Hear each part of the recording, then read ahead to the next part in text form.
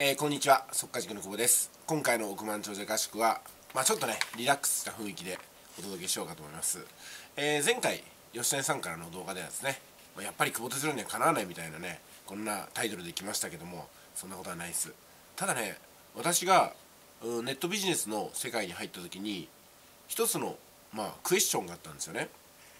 まあ当時ネオヒルズっていうのがあったんですけどもネオヒルズっていうのがあって最高のネットビジネスをやってますと。そしてテレビや雑誌や報道でかなり当時宣伝されてたんですよね。そんな中で私が同じコースでねさあネットビジネス塾ですよって言ってもいやいや同じお金払うんだったらネオヒルズがいいですって言われてもう二足三門の私なんて無視されるんじゃないかなと。だから私がネットビジネス塾をやってももうねどうしようもないんじゃないかなっていうふうな疑問を呈したことがあるんですよ。そしたらねこういう答えが返ってきました。確かにネオヒルズはナンバーワンです。知名度実績生徒数。何においても久保さんにはもうね叶うところがないと思いますよ。でもよく考えてみてください。久保さん広島にいらっしゃいますよね。えそして広島で対面で細かいサービスができると思うんですよ。ネオヒルズクラブはすでにもうねスタッフがやってるんですよ。で返信も遅れがちになります。一人一人に細かいサービスはできません。ですんで多くの方がね1番から学べばいいってもんではないんですよ。久保さんだからこそできるサービスがある。だから久保さんにはね私たちの手の届かない人に是非細かいサービスを提供してあげればいいんじゃないですか。きっと私たちには捕まえられない久保さんにしかできないことができると思います。そういうユーザーさんがいらっしゃると思いますよ。ということをねお話しくださったんですよ。なんとも救いのある言葉だったかなと思いました。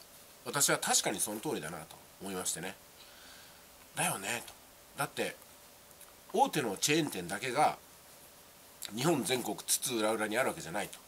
個人商店だってうまくいってるじゃないか。とそうだ。私は地方の一番になればいいんだ。広島ナンバーワンになろうと思ったわけなんですよね。で小さいマーケットでまずは自分のやることをやってですね。そしてそこでうまくいったらもうちょっと大きなマーケットに出ていく。まあそんな感じでね自分のいる世界を作ってもいいんじゃないかなと思ったんですよ。うん確かにねドリームアカデミーはいろんな意味でナンバーワンかもしれませんけども仮にナンバーワンじゃなくたってやれることはあるってことなんですよ。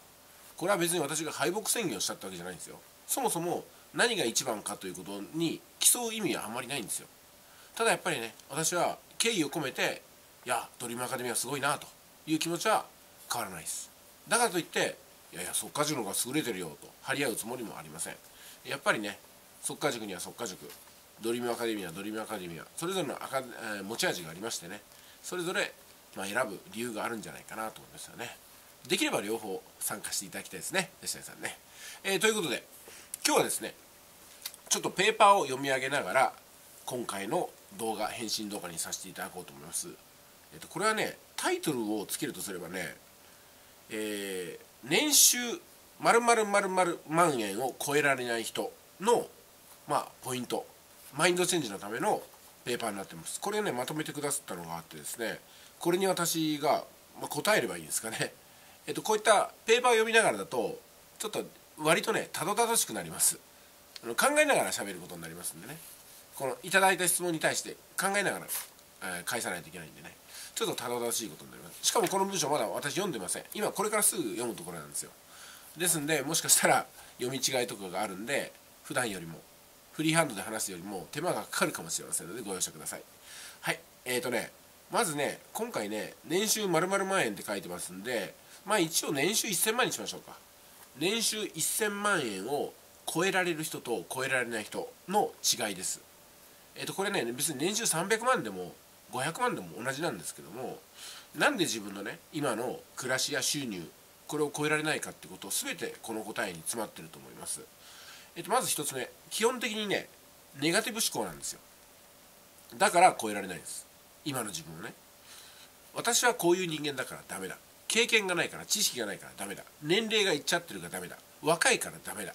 男だからダメだ。女だからできないんだ。とにかくね自分のいるも今いるポジションが全部できない方に触れてるんで私ができないんですってことすぐね結びつけちゃうんですよ。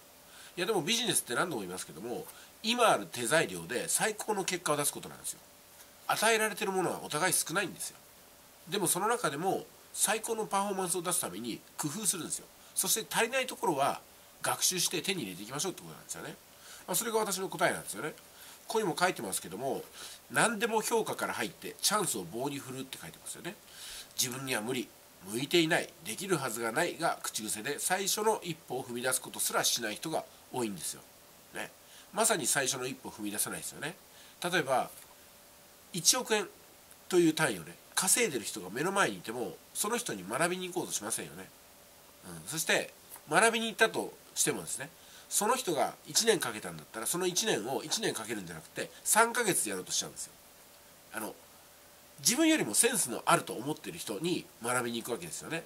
でもその先生よりも短い期間で成功するっていうのは随分ちょっとね計算が合わないんじゃないかなと思うんですよ。基本的には同じかそれ以上の時間をかける覚悟がいるんじゃないかなと思うんですよね、うん、でこれじゃうまくいかないってことなんですよ、まあ、ですんで考え方を変える必要があります。それはですねあなんか楽しそうだなとかね、うん、面白そうだなと。こういう情報に出会えて運がいいなと、自分はできるに違いないと思うわけなんですよ。前回も吉田さんの動画でありましたけどもいや運がいいと。これどういうことかっていうと私は吉谷さんって再生数そんなに多くないでしょ。ね。10万20万って再生数の動画ってのはほとんどないと思うんですよ。でもあなたと出会えた。これ運良くないですか？逆に見事なプロモーションとか有名人をかまして再生数の多いのにまあそういうのばっかり追っかけていったら多分この出会いないんですよ、ね、ですんで私前回も言いましたけども私の動画を見てる人って基本的に1億円以上稼げる素質があるからここに出会ってるんですよ。これが縁ですよね。しかも私の言うことが理解できてるからここまでまた見てくださってると思うんですよ。ということは本当にあと一歩なんですよ。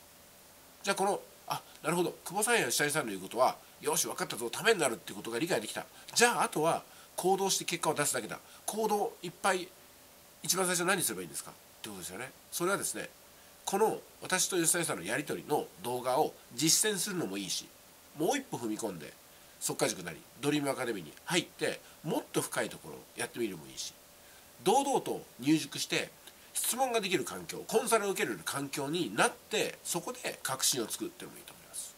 もちろんお金を微対値も払わずにコンサルお願いします。それでも答えないことはないです。ただですねお金を払っていないというあなたの先入観がいまいち行動に踏み切らせないんですよ。なぜならお金を払ってない以上は0円なんですよ。あなたは0円という価値しか認識できないんですよ。お金を払ってないところから1億円10億円という価値を取り出せるほどのセンスはおそらくほとんどの人にはないんですよね、まあ、ですんで厳しい方になりますけどもお金を払うことによって払ったお金と同等の価値を感じるのがやっとなんですよ、まあ、ですんでね速稼塾にしてもドリームアカデミーにしても例えばね3000円で入塾しましたって言ったら多分ね3000円稼げて終わりになっちゃいますよ。もしくは稼げなくてもまあ3000円だからいいかになります。そういう価値観なんですよ。だから腹をくくってね私は頭金3万円でいいですよって言ってますけども満額逆に払うとかね50万払うとか100万払うと。この腹のくり方で結果が出ないことはないですね、まあ、だからといって高く払えってわけじゃないですよ。全ては私は目安として金額つけましたけどもどのぐらいに自分の思いを込めてるのかもうあなた次第です。そこに3000の思いしか込められないのか30万の思いを込めるのか300万の思いを込めるのか。ねあなたは自分の人生いくらで買おうとしてるんですかってことですよ。これ吉谷さんも前回言いましたよね。学校にいくらつぎ込んで今稼げない棒立ちのその丸腰の格好でいるんですかと。それに比べたら稼いできた自信のある実績のある私たちが提供するコンテンツ高いですかね。そこにお金を惜しむ理由はあるんでしょうかってことですよ。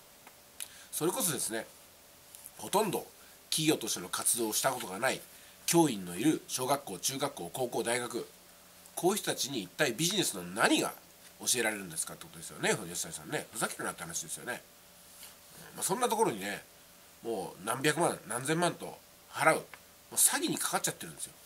まだ稼げないでしょ。困ってるでしょ、うん、だからお給料もらう人はそこで作れるんですよ。小中高大と行けばね。お給料もらう人。でもお給料もらうような時代じゃなくなっちゃったんですよ。私も同じです。大学まで出ましたけども給料もらえる体にはなりましたけどもじゃあ自分でビジネスをするセンスっていうのはどこで学ぶか。これは学ぶところはなかったんで自分でやったんですよ。しかも40過ぎてからですよ。40なるまで私は一回も商売でプラスになったことないですからね。自慢することじゃないですよね。はいでは1個目からしてここまで熱くなりました。2つ目、えー、何でも人のせいにする。これもねうまくいかない人の典型ですよね。特に収入が上がりません。自分の成績が上がらないのは誰のせいでしょうか。お客さんが買ってくれないせいでしょうか。それともお客さんの気持ちを動かせない自分のせいでしょうか。商品がボロいから売れないんでしょうか。商品の価値を見いだしてそれを正確に伝えられない自分のせいでしょうか。デフレのせいでしょうか。デフレになると商品は何も売れないでしょうかね。高いもの売れないですかね。うんどうなんでしょうか。ほとんど多分デフレの原因っていうのはいろいろあると思いますけど一つには物を売れないビジネスマンが増えたからそうなっちゃったんじゃないですか。物が売れないからみんな単純に値下げしちゃうんですよ。違うんですよ。売れなければ値上げをして例えば5万円のものを10万円にして価値を30万にすればいいんじゃないですかね。価値を30万にするってことはその商品を買おうとしてる人の状況とかウィークポイントとかどうなりたいかっていう将来の展望をしっかりと聞き取る必要があります。アンケートしてますか？アンケートせずに商品売れないです。アンケートっていうとね軽く考えがちですけどもマーケティングリサーチですからね。アンケートっていうのは。でアンケートにも答えてくれないようなコミュニケーション能力だったら何もできません。ねまあ、アンケートには答えてもらいましょうよ。例えば親兄弟近所の人。これ答えてくれませんかね？試しにアンケート紙に書いて近くの家に100件でもポスティングしたことありますかね？こういうところから商売って始まるんですよ。別にインターネットいらないいらなくないですか？こんなこと。経験いらなくないですか？商売の第一歩ってのはこういうふうに誰でもできることを誰もがしないレベルまでやることなんですよ。これが第一歩ですよ。これをしない人にねどんなテクニックノウハウ与えてもどうせやらないでしょ。やらないんですよ。で何でも他人のせいにするね。政治が悪い。日本は終わっている。地方だから不利だ。これよく聞かれますよね。あのこれも繰り返しになりますけども今与えられている状態で1億円ごときは誰でも稼ぎます。誰でもね。もちろん人が一人もいないところでは無理です、ね、貧困国では無理です。こと日本において人がいないところに住んでる人はいないです。日本においてね日本はまだ貧困国ではありません。でもこのままほっとくと貧困国になりますよ。それを食い止めるのは誰ですか？ビジネスをしているあなたなんですよ。貧困国を食い止めるためにはまずはあなたがお金を集める力を持つこと。そして集めたお金を使う勇気を持つこと。この繰り返しであなたの周りから経済はどんどん膨らんでいきます。でも今あなたの経済は膨らんでいません。多分年間で200万300万500万ぐらいの。そのマーケットしか持ってないですよね。でも私は吉谷さんは年間で2000万のマーケットぐらいは多分持ってると思います。じゃないですかね。私はもうちょっとあれもありますけども。まあ2000万もあります。1人でですよ。1人で。2000万。で全国民とは言いませんけども1人で2000万を仕入れて売る。こういう人がいたらどうですかね。経済規模って膨らむんじゃないですか,、うん、経済規模っていうのはまずは母体があって個人があるわけじゃないですよ。個人の一人一人の経済規模の合計が GDP ですからね。まあ、ですから日本が悪いんじゃなくて GDP を膨らませるのは一人一人の力なんですよ。その一人一人の結果としてあ日本終わってんなと見えるとしたらその日本の構成員たる私たち一人一人が終わってるってことなんですよ。自分の責任で行動できると思います。はい次。お客様の要望を全部受け入れる。これだとね実は儲からないんですよ。稼げないんですよ。年収は上がりません。お客様の要望を全部受け入れるっていうのは一見いいことに見えますけどもその力量はあなたにはないんですよ。ですんで全部を受け入れるんじゃなくてこの部分に関しましては任せてくださいっていうふうなねターゲティングをする必要があります。例えば私がパン屋の悩みに答えられないんですよ。でも売り上げを上げることには答えられます。業種関わらずです。だからパンの美味しい焼き方は私にはそこまで責任を持ってコンサルはできませんけどもじゃあパン屋さんとしてのそして飲食店さんの売り上げをやることは十分できます。だからそこについては任せてください。パンの美味しい焼き方それについては私はすいません。他の専門家にお願いします。おつなぎします。ということで人という情報をお伝えすることでそこはねえ、ご納得いただくしかないですよね、まあ、これ例えばの例なんですけども、まあ、やっぱりね自分のマーケットってあるんですよ。例えば吉谷さんでしたら120万円払える人でなければドリームアカデミーに入れないという形で120万も自分にかけられない人を、まあ、オミットしてるわけですよ。これは非常にいい方法だと思います。で私の場合は120万払えないけどもまずは数万円数十万円でスタートをしよしてみようかなっていう方に合わせた価格設定になってます。もともと私も高額塾の販売者でしたけどもまあでもね今は塾の販売者ではなくてどちらかというとねうんまあマインドセットですよね。きっかけ作りになってるのかなと思います。ただし本気でセールスを学びたければそういったものも用意してますんでもう本当にねやっていただく方には提供できますけども。まあけどねやっぱりうんお客様を断るってことができなければビジネスマンできません、うん、だからここはねここに書いてますけどもお客様が大事なので要望は全部受け入れなければならないと思い込んでいる人がいますがそういった人は絶対にビジネスで成功しませんと。ありますね。応募で無理難題をつけてくるモンスタークレーマーさん。こんな人は受け入れちゃダメです。原価割れの値引きを要求してくる人もダメです、うん、私はちょっとこれやってるかもしれないですね。過剰なサービスを求めてくるお客様。そうですね。あまりにもたくさんのサービスを二足三門で要求してくる人はもはや客ではないです。たかりです。で勝手にお店の商品を試そうとするお客様。これも良くないですね、うん、平気で契約を無視するお客様。こういう人もいりません。全部客ではないですこれは。単なるまあダニと言ってもいいのかなと思いますね。悪い言い方になりますけど。でもこういう人が全ての、うん、店舗とか商売を壊してるんですよ。でも正当なサービスには正当な対価をお支払いするという、まあ、お客様としてもねユーザーさんとしても、うん、まあ一定のレベルの配慮が必要ですよね。こういう人だけを相手にしないとおかしなサポートとかねクレームにも、うん、奔走されるんですよ。引っ張られるんですよ。で本当にいいお客様に対して何も提供できなくなっちゃいます。ですんで商売人としては有料顧客を守るために悪質顧客を切るってことをしなくてはなりません悪質顧客に手間をかけてる間に有料顧客はなんだああいう人の相手を優先してしちゃうのかなんだ自分のところにはサービス来ないじゃないかっていうことになっちゃうんですよ。ね。ということですんでね気をつけてほしいと思います。もう一個ぐらいいきましょうか。うん、まあ年収の壁を越えられないね理由としてはまあ酒と異性ですね。これに溺れてしまったらダメですね。お酒をお酒っていうのはねなんか飲んでもいいような気がするじゃないですか。でもあえて言いますけどもまだ金銭的余裕がないのにお酒飲む余裕ありますか？お酒を飲んで時間やお金を使ってる余裕ありますか？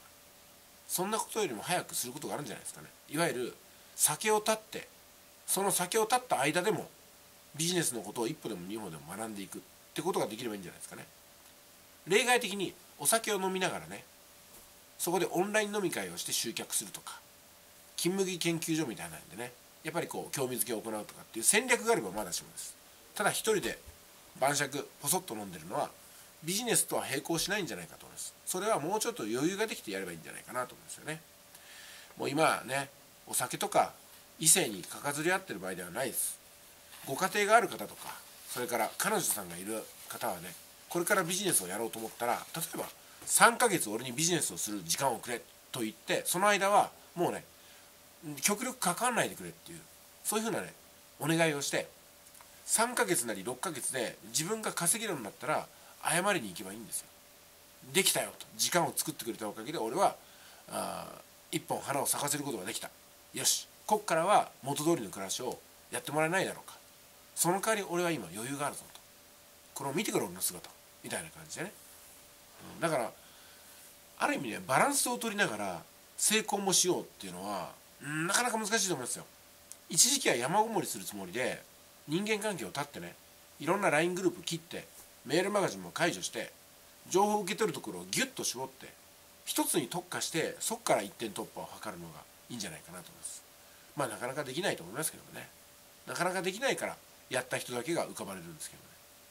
はい今日はですね年収〇〇〇万円を超える人超えられない人というテーマでお送りしました。まあ、吉田さんのねありがたいお話も組み入れながらそして今までのコンテンツも組み入れながらお伝えしましたけどいかがだったでしょうか？えっ、ー、と現在ね時間がね何時だったかな？あ4時1分ですね。4時1分でございます、えー、私特にね早起きをしてどうこうってわけじゃないんですけども深夜って動画が撮りやすいんですよ。電話も来ないし訪問客もいないし郵便屋さんも来ないしね。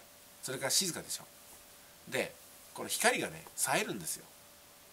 昼になるといろんなとこから光が入っちゃって逆にうまくいかない場合があるんですけども、うん、でも今だとねこの室内灯だけで照らしてくれますんで非常に光が安定してるんですよね、うん、そしてまあ寝静まった環境っていうのはいいですね。やっぱりね。話しやすいなと思いますね、まあ、ですんでまあ24時間 YouTube はいつでもできるんですけども私の好きなのは深夜かなと思いますね。深夜2時から5時ぐらいまでがとっても YouTube 活動がしやすいなと思ってほとんどの動画はこの時間に撮っております。